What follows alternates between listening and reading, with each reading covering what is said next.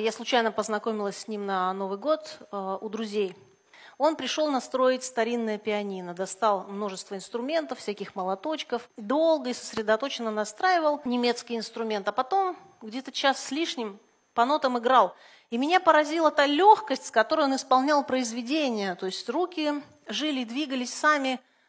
Где-то он совершал ошибочки, где-то, но видно было, что он читает по нотам, а меня это всегда завораживало. То есть мне, чтобы что-то сыграть, это мне нужно разобрать, потом выучивать это месяца два или три. И потом только я могу это повторить. А здесь вот это чтение с листа, вот это то, что мне не дано, а мне, когда что-то не дано, меня это прям восхищает в других людях. А меня это, конечно, восхитило. Плюс вот эта музыкальность, э, чувство к строке. Ну и я стала с Артемом разговаривать. Он работает в церкви и совершенно не верит в себя, в возможность карьеры пианиста и считает, что все места под небом уже заняты.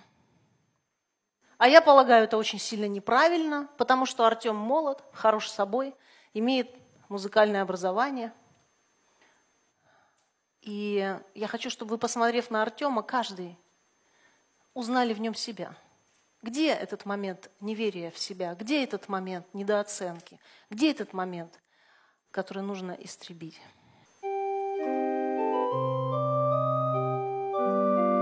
Каждому человеку однозначно нужна любовь.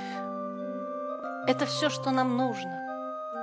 Кто-то в работе локти сдирает в кровь, уповает на дружбу, а кому-то покажется, будто слава решает все. Он живет ради славы, но только любовь каждому принесет то, что не для забавы.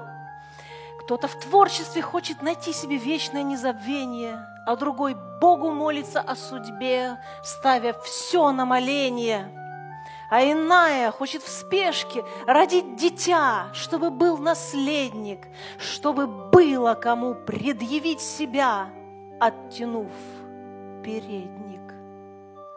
Без любви настоящий, весь какой-то ты неживой – хоть вдвоем в постели, да и слава, и деньги, и даже наследник твой пузыри, не цели. Для нее ты, пожалуйста, приготовь берег сердца южный, ведь каждому человеку однозначно нужна любовь. Это все, что нам нужно.